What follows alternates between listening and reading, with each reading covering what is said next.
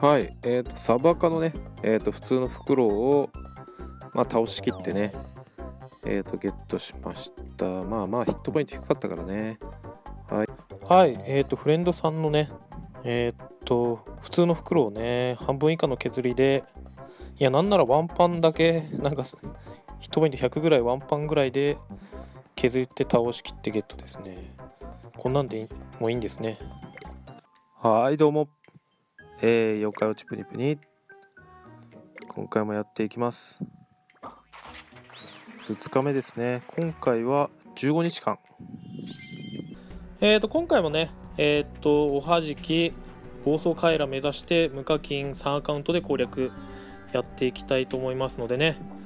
えーとよろしければねチャンネル登録お願いします。はいそしたら現在の状況をまずね説明したいんですがえーと元気ドリンクはねえーと、あ、袋に買った回数、メインアカウントね、10回で、覚醒はね、4回まで来ました。えっ、ー、と、まだ元気ドリンクは交換してなくて、うん、4個、4個、あ、2個ドロップだね。で、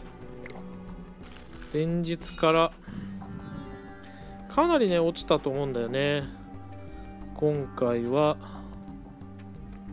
やっぱ初日2日はね、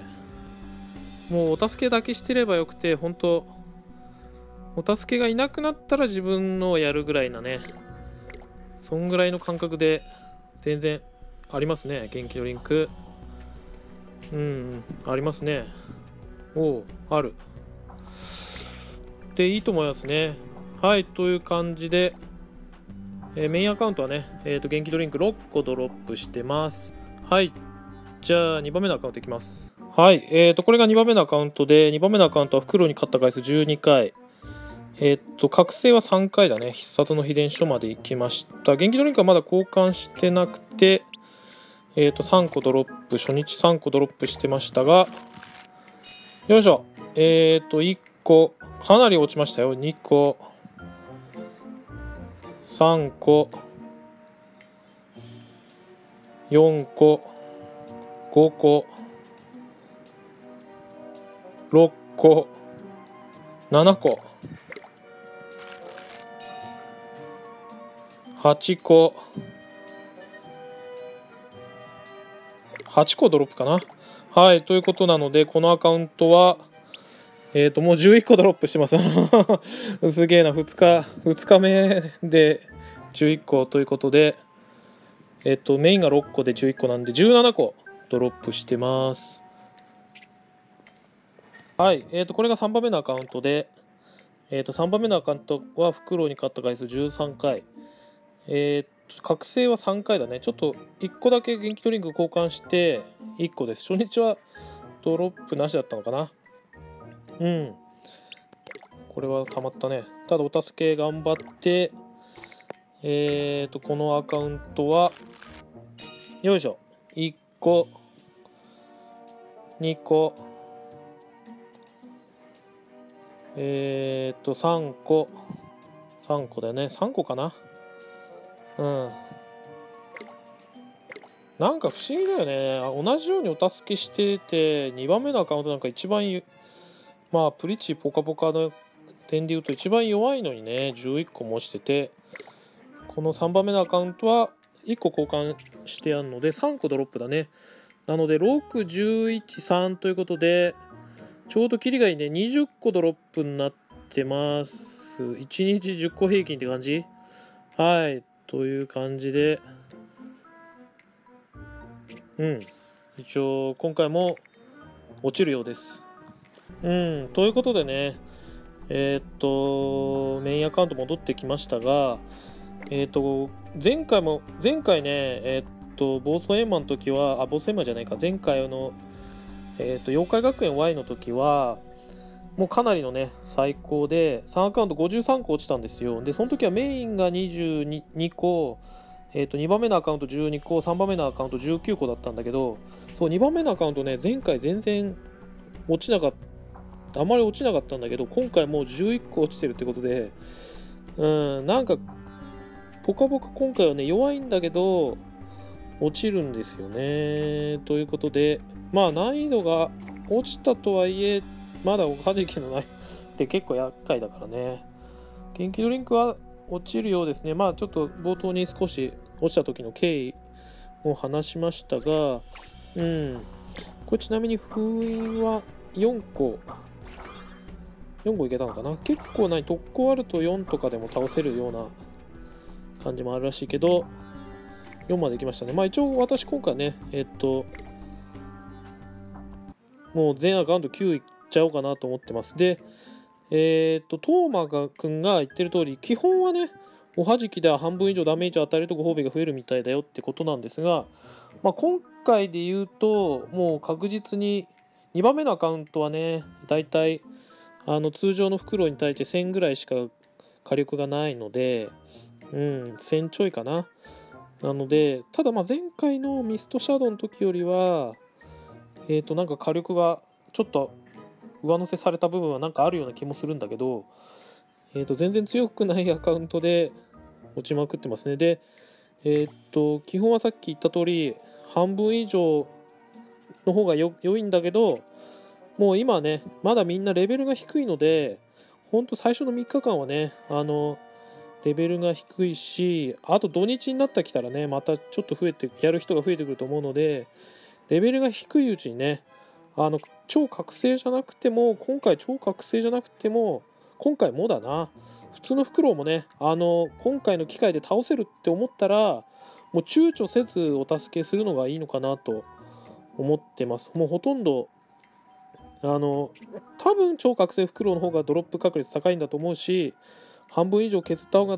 確率は高いと思うんだけど、うん、やっぱりドロップしますね。数をこなすことが大事なのかなということです。なんでね繰り返しになるんだけど基本的には自分のは誰も助ける時がいない時にやればいいのかなと思いますね。うん。でそんな感じでこんなフクロウに勝った回数まだ私10回程度ですけど、うん、であとさっきも言った通りメインアカウント6個で2番目のアカウント11個で3番目のアカウント3個ということでそうこれもう運だよね。もうだって全然違うもんねドロップ。だから1アカウントでしか主にやってなかったらね3番目のアカウントがもしメインだったらメインでそれしかやってなかったらああなんだ今回落ちねえなって思っちゃうからなんか非常にまあ、運の要素もあるなっていうんですけど、ただ毎回ね、私3アカウントでやってるんで、えー、っと、まあ、それをね、3アカウントで鳴らすと、こうやってね、えー、と合計20個ドロップで、おはじきって結局積み上げなので、うん、どっかのアカウントで特攻あればそれでまたね、有利になっていくので、まあ、まだね、普通のフクロウに対する特攻もないですし、うん、あっちのライちゃんはね、いるけど、ふーちゃんかなあの緑の方はいるけど、えっ、と、まだね、えっ、と、レベル4までしか来てないので、まあほんと序盤の3日間ね、あのだけ集中集めるだけでもね、こうハマれば結構ポコポコ落ちるので、なるべくね、あの自分のアカウントだけでお助けしてるよりはいろんなフレンドさんをね、お助けするといいのかなと思います。なのでね、一応前回の FF、一応今までの実績だと FF コラボで3アカウント50個、モンストの時は52個、暴走エマの時42個で、前回のね、Y 学園は53個だったんでね。だけど今回も2日目で20いったので、うん、このまま落ちまくってくれれば、なんか今回はね、えー、っと、ガシャがなんか今回あんま出なさそうなんで、まあ、3アカウントでね、特攻を1つずつ積み上げて、なるべくねもうずっと言ってるけどえっ、ー、と6はもうサブアカだけで倒して7はねあっていう形でいくといいと思います。もう交換すればね9個えー、と交換できるので元気ドリンクね。711って交換できるのでうん。なんで本番までにね10まあ10個ぐらいね特攻がこの鞘だけでもね残していけばいけると思うのでまあ、とにかくね、えっ、と、メインアカウントだけの攻略目指してる人は、えっ、と、6まではもうメインアカウント、元気ドリンク使わないで、サブアカだけで倒すようにして、で、7、8、9をね、なんとかね、あの3発乗り切ってほしいなと思ってます。それにするにもね、とにかく初日、2日、3日は本当、これ袋10回ぐらいだとヒットポイント、まあ、これね私これ使わないとヒットポイント見れるんで使わないけどそう序盤はねこうやってヒットポイント低いのでとにかくねひたすらもう残り30ヒットポイント30とかでももう見つけたら倒しちゃうみたいなね。そんな感じでやるといいのでまだ2日目でね取り戻せますので是非ねやってみてください。ということで今回はね元気ドリンク落ちまくりということでちょっと3日目にね何をするか3日目はちょっと中盤以降の進め方とかにねついて話をしたいかなと思いますがはい。2日目でこんなに溜まったの初めて前回より前回もすごかったんですけど前回以上なのでまあ本当落ちないまあアカウントによってかなりばらつきあるんで本当落ちないと思っちゃうかもしれないんですけどあのね諦めずにというか同じようにお助けしてればバラバラっと落ちてくるのでうん是非ねお助けをまず序盤頑張って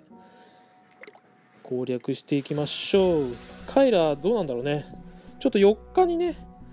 えー、っと多分えー、四天童寺のね確率アップがあると思うので、まあ、それに向けてねえー、っと一生懸命ね進めたい。お助けをね特に頑張って進めていきたいと思ってますんで皆さんもね元気ドリンク集め頑張りましょう。はいじゃあ今回はこんな感じです。最後までご視聴ありがとうございました。よろしければチャンネル登録お願いしますそれではね特攻特攻増やしたいな今こいつしかいないんだよね3アカウントでねとにかく1個ずつでも積み上げていくとダメージ積み上がっていくんでね是非頑張っていきましょう復刻もありますしねそれではまたお会いしましょう。さよなら。バイバイ。